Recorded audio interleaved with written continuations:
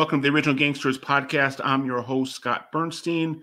Um, we're going to do another producer episode. We're bringing Benny uh, to go uh, kind of volley back and forth. We're going to keep, uh, you know, I, I've always really enjoyed trying to mix the old with the new and taking things that are happening now and giving some historical context. Um, so we're going to kind of stick with our recent theme of uh, the Great White North and uh, mob activity, organized crime activity up in Canada, Quebec, Montreal. And uh, again, shout out to the guys over at Dirty News who do a great job covering the Quebec underworld. And uh, those guys made me aware of a, a cold case murder from about 40 years ago that I was unaware of and uh, gave me a little bit of direction and, and where to find some uh, info. They they did a little uh, piece on it, and uh, this is a mob murder from the fall of 1985, and uh, a criminal defense attorney, a mob attorney, a mob mouthpiece by the name of uh, Frank Shoofey, who was a Lebanese uh, criminal defense attorney, high profile guy in Montreal, and his murder, even though unsolved, we can pretty much nail down the the, the reasons and the circumstances, uh, and those reasons and circumstances tied into professional boxing, uh, the role that uh, the mafia played in professional boxing, and in the mid 1980s the face of professional or the two faces of professional boxing at that time don king uh, and mike tyson um, all kind of play a role in this story tyson more tangentially. But so we're going to talk about that a little bit and then maybe talk a little bit more in general about uh, tyson and don king's connections to the uh, to the mafia the mob and uh, just maybe just in general the way old school boxing was was ran. Uh, Benny, thanks for uh, joining me, man. For sure. Outside uh, of the glass. Oh. Yeah, from hide the wife, hide the, the children. From the glass. Yeah, yeah, yeah. Uh, so, Benny, were you ever? I mean, there's there's some you know age gap between Benny and I, a generation gap, in one sense that I grew up in the 80s and 90s. Benny grew up in the late 90s, throughout most of the 2000s. I would and, say 2000s. Yeah, born in 94, so right. Don't uh remember uh, too much of the 90s. But I remember when boxing was a big deal. Um, I'm sure Benny doesn't. Benny probably his first memory of the fight game, I'm guessing, was MMA related. Uh, yeah, pretty much. Uh, Floyd Mayweather in his uh, okay, so earlier was... years, there was hype around that but yeah, MMA was what uh, really, uh, uh, I guess, uh, took off in the. It's at a different stratosphere. Yeah, yeah, from um, boxing. Boxing is a is I hate to say it is just it's a dead sport, and I don't know if it's ever going to come back. I hope it does. I loved it. Uh, again, getting you know, not having to go down a personal rabbit hole here, but boxing was one of my first loves in terms of uh, me falling in love with professional sports. I'm not into boxing now. I haven't been into boxing in a while, but when I was growing up in like again in the 80s and 90s, I was a, a big fight fan and uh my first two loves uh, in terms of sports were, were, baseball and boxing, two things that I don't really care about um, as an adult. But those were really the two things that got me really into sports. Then basketball, and then eventually football was kind of the last pro sport that I fell in love with. And now, for me, it's just it's all football. I mean, I I, I still love basketball, but to me, uh, that's that's the only thing that really gets me excited. Uh, so, but but boxing was a was a really big deal on a big level when I was, you know, until it's just my let's just say my first 15 years of life. You know, boxing had, you know, when were you born? What year were you born? 77. So like 77. you're so 87, you were 10. Yeah. So 97 you were 20. Okay. You're yep. in your in your um it, these were things that you saw on your television every day. These were athletes that were being promoted by sneaker companies and soda companies, car companies. They were on every Saturday and Sunday. I remember turning on the television with my grandpas, both grandpas, and watching boxing on NBC, CBS, ABC, uh, HBO. So, when we got, when we first got HBO, I got it, you know, let's say in the mid '80s. That's um, an important point right there. It was yeah. on national television. Yeah, and then if you got HBO, which was this a big deal when it first, you know, when you could watch tell you know, watch movies on your on your TV. Um, they were their entire sports division was they had like the NFL Today show that they would run once a week with like highlights, and then the rest of their sports department was all boxing. So, uh, let me ask you this: How often was there a big fight on back in the late 80s, early 90s. So that's another thing that I remember. The fights, those big fights were never, you could never catch them live. You would, they were all pay per view events. I mean, you, I shouldn't say you could catch them live, but you had to pay. You had to pay for it. You couldn't sit. Uh, and then, in, and then at a point in the 90s, you could order it uh, on your, through your cable box, but you were still paying. You weren't just paying the regular fee for the HBO or your regular, you know, uh, hookup to have a television so you could have ABC, NBC, CBS. Gotcha. Um, but no you, big fights were free.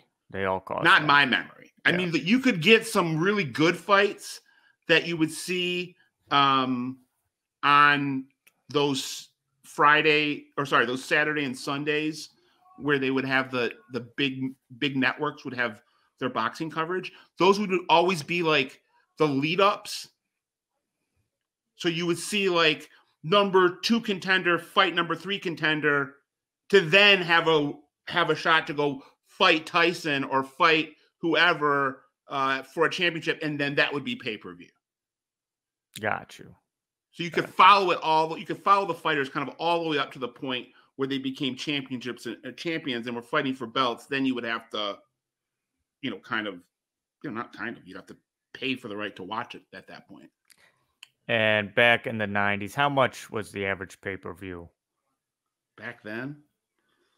I don't know. I just I, I always lived with like I lived in like a fraternity house, and I always lived with a bunch of guys. I was never the one handling the, just always chipping in. But I just okay, remember gotcha. we would always buy the fights, um, in the '90s. But in the '80s, sometimes I think you could watch it live on HBO. Uh, if you had HBO, you could watch those fights live. Um, other times, I think HBO would have the right to put it out like a week after it had been on pay per view. Okay. Um, so like I remember watching the Sugar Ray Marvelous Marvin fight in 87 or 88, but it was like a couple days after it had been live, but I was watching it for the first time like it was live on HBO.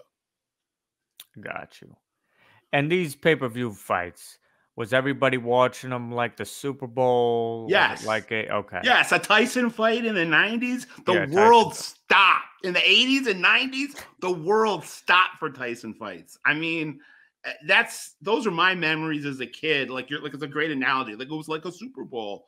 Uh Tyson was a phenomena, like no other sports figure that I can imagine other than Michael Jordan, Tiger Woods, um, you know, maybe like a you know Tom Brady, Steph Curry type now, but uh, he was just must see action at all times. When he lost, it it was just jaw dropping. in 90, I think it was 91, 90 or 91 when he lost to Buster Douglas. Um, but let's just say from 85 to 91, that was the biggest ticket in professional sports outside of um, a Super Bowl or a Lakers, uh, Celtics, and, and NBA Finals, or so. And, let's just again put it in a context. The mafia weren't just influential in the pro fight game. Um, organized crime, corruption, back deal wheeling and dealing. That's that's that was just the sport. You know, it, it, you couldn't have one without the other. If was you it, were a if you were a fighter and you wanted to fight and you had a group of people around you that could get you to a championship, you had to deal with the mafia in one one shape, form, or another. Was it mainly the five families? No, it was every was, It was every family. Every family. Okay. Almost, I shouldn't say every. Almost every family. So, um, you know, just first, Benny and I are both. Uh, pro- people probably know this. Are uh, Detroiters. So Benny says that his, you know, his first memories of boxing come from Floyd Mayweather, who's a not a Detroiter, but a guy from Michigan who's a really proud uh, to be from the state of Michigan. He's from Grand Rapids, which is on the west side of the state. And uh, his dad was actually a, a, big part of the Detroit fight game, um, even though his dad was from Grand Rapids, but his dad was a fighter and uh, trained uh, down in Detroit. But just in Detroit, we had uh, a couple guys that controlled all the boxing here. Little Sammy Finazzo uh, ran the Motor City Boxing Gym. I believe it was on Woodward. I think you can still find on YouTube some old NBC Saturday afternoon fights. I think this is from before I was paying attention to it. I think they're from like the 60s or 70s, and they're at the Motor City Boxing Gym. That's where the pro fights are happening, and they're being broadcast on national television. Um, so little Sammy Finazzo ran the fight game here in um, in Detroit. He was a, a mob capo. Uh, in Philadelphia, you had guys like Frankie Carbo, uh, Blinky Palermo, Tony Meets Ferranti. Um, I know in St. Louis, Sonny Liston. Uh, the guys behind Sonny Liston were uh, the St. Louis Mafia, Johnny Vitale. Uh, and then yeah, then the five families all had a, had their hooks into almost every fighter on the East Coast and then they control the rankings they control the 15 different sanctioning bodies and then they could control who was getting what fights which is how they would leverage their power. If you didn't want to play play ball with them you weren't going to get a shot at the title let alone win the title. Hmm. and was there a lot of throwing fights? Yes. Um quite a bit. the, but like even in like the 80s and 90s probably not as much but, but more so in the 50s and 60s. 50s and 60s. I mean, just watch, watch Raging Bull. Um, he, you know, he had to throw a fight to get his shot at the championship. Uh, and his Jake LaMotta had a love hate relationship with the mafia. There's some great scenes in that um, movie with uh, Frank Vincent, who goes on to be Billy Batts, and and uh, other great, you know, other great characters in Scorsese movies. And then actually the the guy that played Coach on Cheers, I think his name was Nick Colasanto. He was the mob boss in Raging Bull.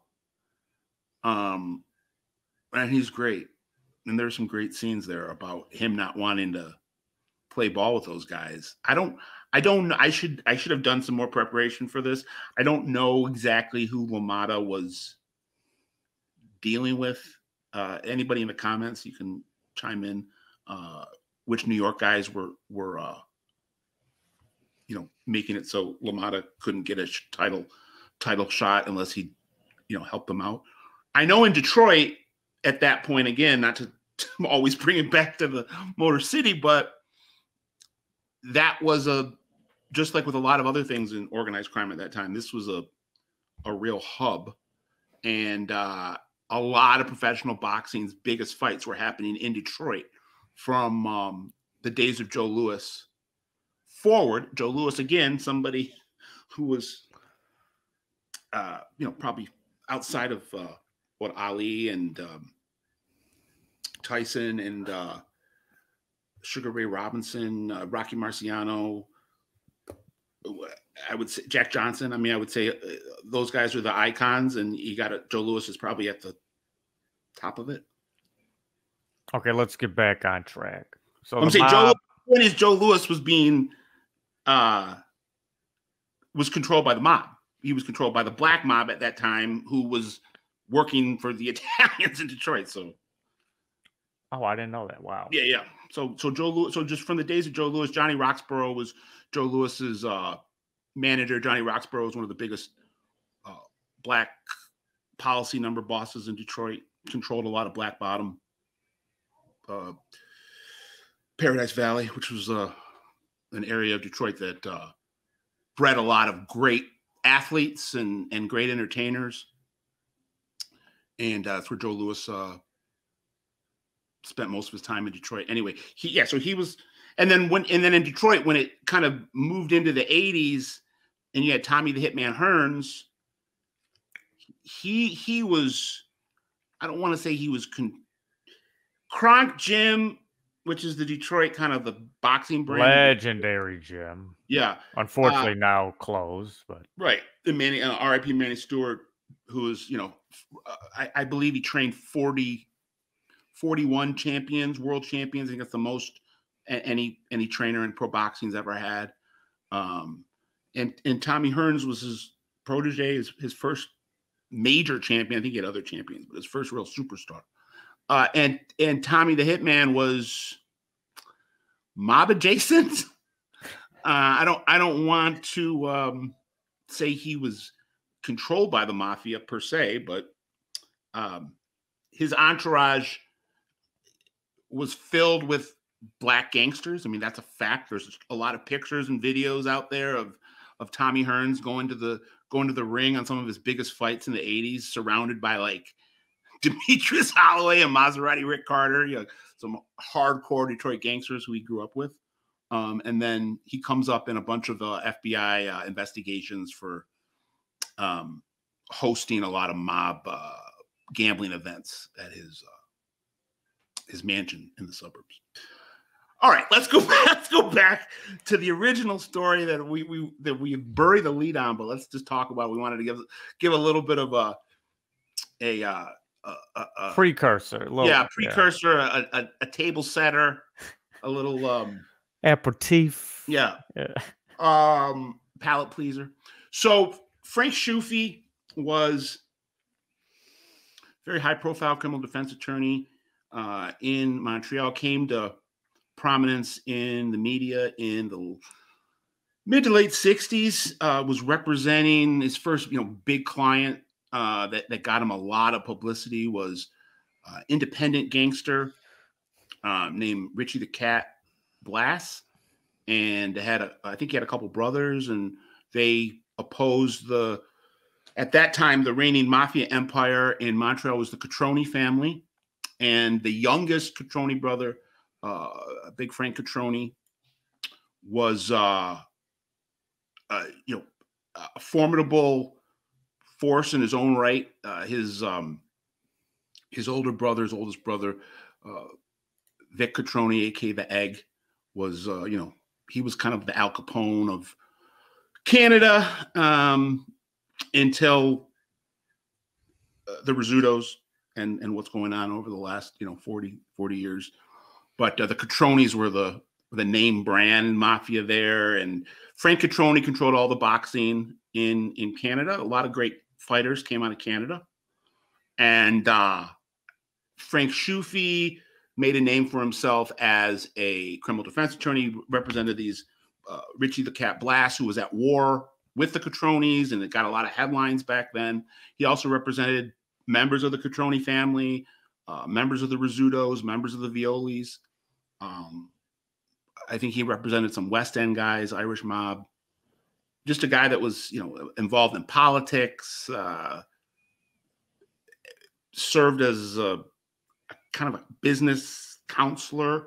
And one of the people he was counseling for business and handling legal affairs uh, for was the hilton family which was a big boxing family in montreal. Uh, the dad david hilton trained his two sons the hilton brothers matthew hilton and davy boy hilton uh, both of them were world champions. Uh, Matthew Hilton, who this particular situation, uh, a contract between him and Don King, that's where this situation arose from. uh, was the junior middleweight champion in the IBF, I believe. His brother Davy Hilton was the super middleweight champion in the WBC. I didn't really know about these guys for being for someone who claims to be a boxing aficionado. I never heard of the Hilton brothers, and I looked at their records. I mean, I think Matthew Hilton finished with a record of like 34 and 3. 32, 3 and 2. 30, right, 32 and 3. Um, yeah. so what I'm saying is they were commodities in the mid 80s. Frank Shoofey had the ear of their father, who was their manager and their trainer.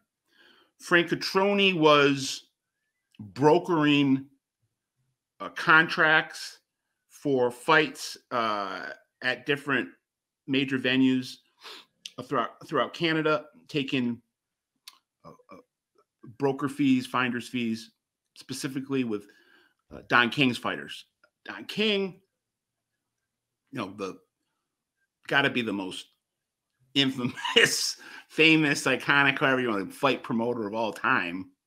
You know, just the hair alone and the big personality and the reputation for being a, a, a, a well, he he was a gangster, um, and then he remade himself as a as a as a boxing executive, and um, was always a lightning rod, uh, but a pop culture personality and somebody that was difficult to. He was ubiquitous. Him and Mike Tyson at that time were just everywhere. Um, and uh, Frank Cotroni was fighting extradition. He had a heroin case. He was going to have to go do some time in in a prison in uh, New York, I believe. And uh, he was banking on the contract that he was brokering for Don King and the Hilton brothers to pay that those legal fees. Mm. And Frank Shoofey at this time, I think this is either. Can you look, Benny look up when Tyson got the belt? This this is October of '85. Tyson is either on the verge of getting the belt or it just got the belt. Uh, was it WBC champion when he beat Berbick? I think it was for his champ for the championship. He became the youngest heavyweight and he was 20 years old. November 22nd, 1986. Okay, so this was first a, title fight against Trevor Berbick. Okay, so this was like let's say not uh, so well, 11 months. This was a little no. This was 13 months. Third I can't do math. 13 months before Tyson takes the crown, but Tyson at that time is still a you know, a rising star. I mean, it, this was when the buzz started with him.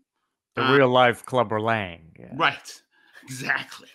And um, Don King was going to sign a contract to promote fights for Matt Hilton, two upcoming fights um, that were pretty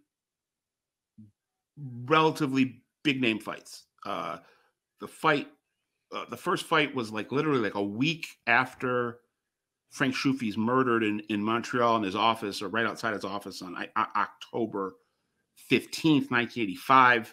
And the reason the, the investigators believe nobody's ever been charged was that Shoofey had convinced Dave Hilton to not have his son sign that promotion contract with Don King, where he was going to promote the October 20th fight against Vito Antuofermo and a fight in February of 86 against Wilfred Benitez. Uh, these were, you know, pretty big name people at the time. And uh, then I think he was also had options to to promote some of Dave Hilton's fights.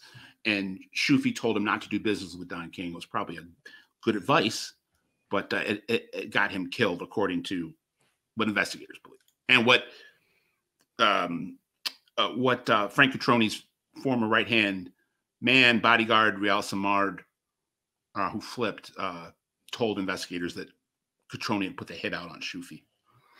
So uh, it's, it's, it's, it's, it's interesting. I didn't know anything about it. And when I started to look into it, I talked to some of my sources up there, talked to some law enforcement.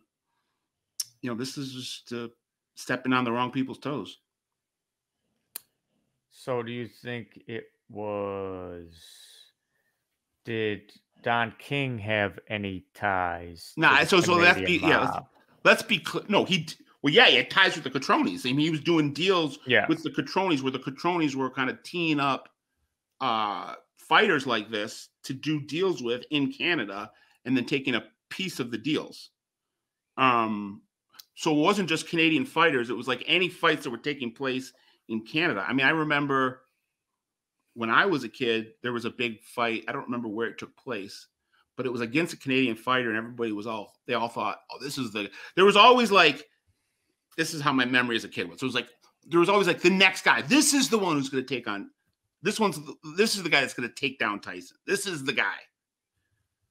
Um, and it was Donovan Razor Ruddock, who was a Canadian fighter. Um, so stuff like that. So when Tyson was going to Canada, obviously King was going to promote it, and then he was trying to take the market in Canada for doing any and all promotions, and and the Cotronis controlled the boxing market there. So, but Don King, we don't believe, right? Let's called the hit. Right. Let's be clear. Don King was never implicated in any yeah. um, wrongdoing or violence or anything shady in this particular situation. But Don King is a convicted murderer. That's um, not a uh, not a secret. He uh, was convicted of second degree murder in the 1960s, uh, stomped a worker of his to death back before he became a um, boxing promoter. He was a never heard this story. Yeah, yeah. This is this is not a secret. This is yeah. Cleveland. Uh, he was a Cleveland racketeer in the 50s and 60s. He was a black mafia boss or mob associate to the Cleveland Italian mob. Ran all the numbers in Cleveland with his partner Virgil Ogletree, and uh, I think it was 1966. Got into a dispute with one of his numbers runners over 600 bucks, and uh, killed the guy. Uh, I think King had to go do five years, four or five years. He might have been got the sentence commuted or pardoned by the Ohio governor or something, and then came out of prison and immediately jumped headfirst into the promotion game and was promoting Muhammad Ali within like a year or two. Re, you know, reinvented himself. But like you can call Don King a murderer because he is a murderer.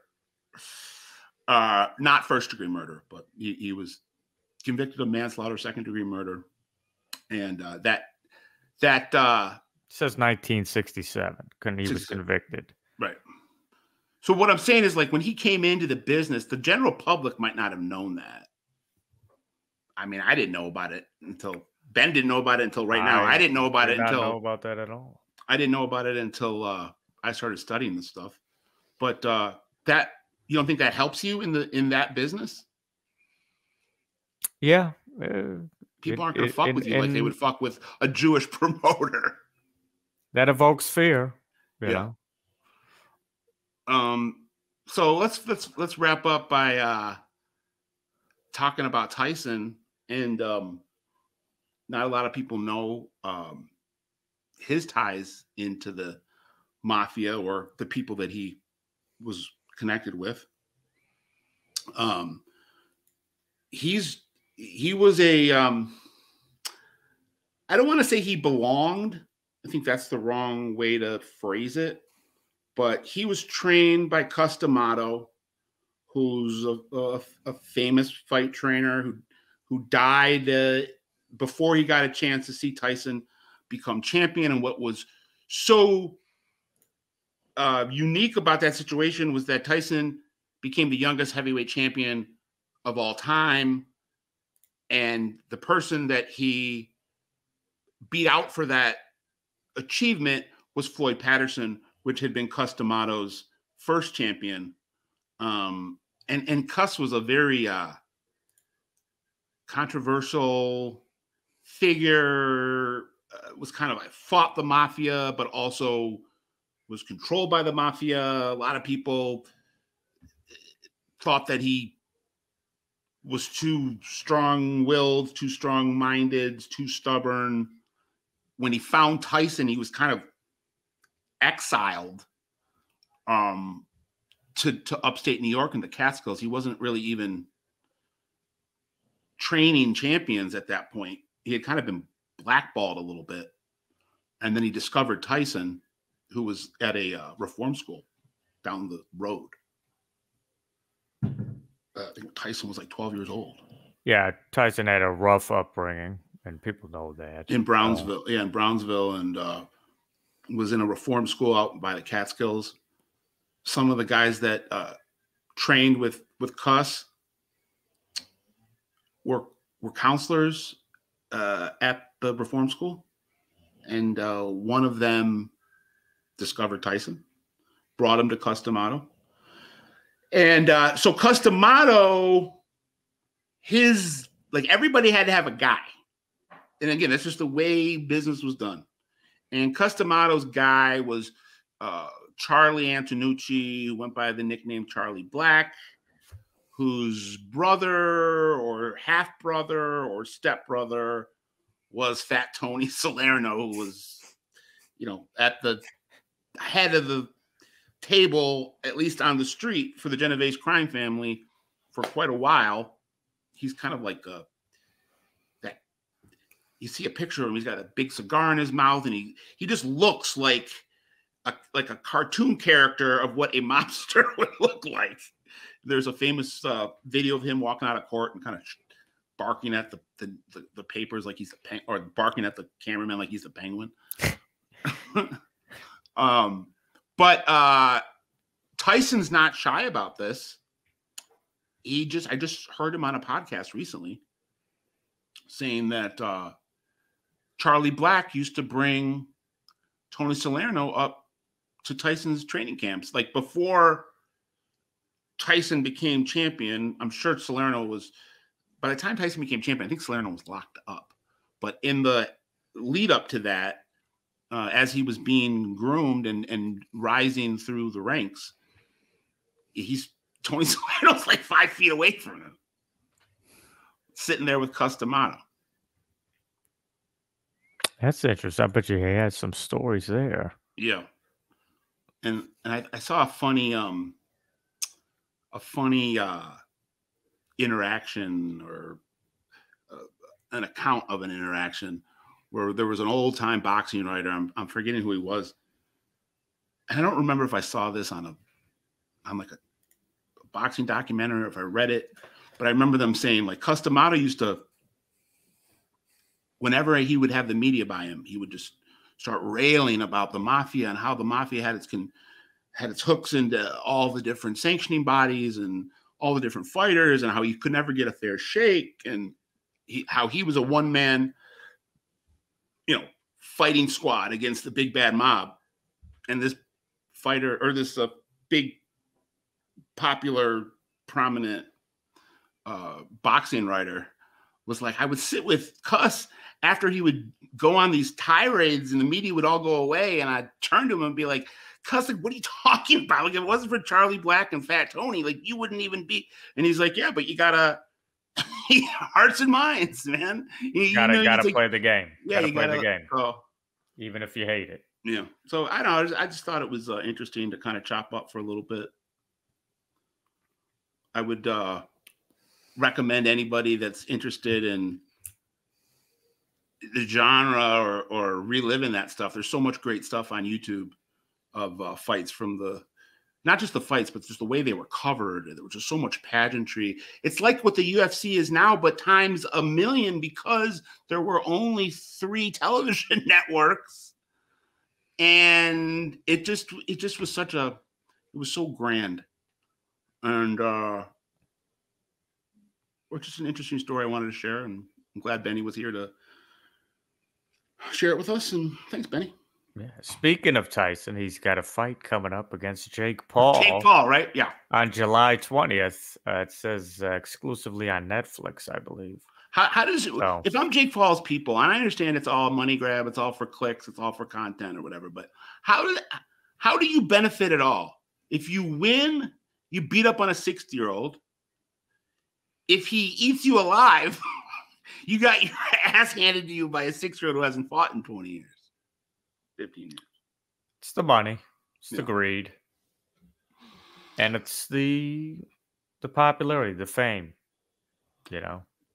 Well, uh, everybody, please uh, like, subscribe, share. Um, we're going to be doing a little uh, more of these kind of uh, splitting the baby episodes. Not, not, quite a quick hitter, not quite a long form episode with a, a, big interview, but maybe like these like 30, 25 to 35 minute uh, breakdowns of some things. And hope you guys enjoy them. Thank you, Benny. Um, we will be back very soon here on the OG Pod. I'm Scott Burnstein for Benny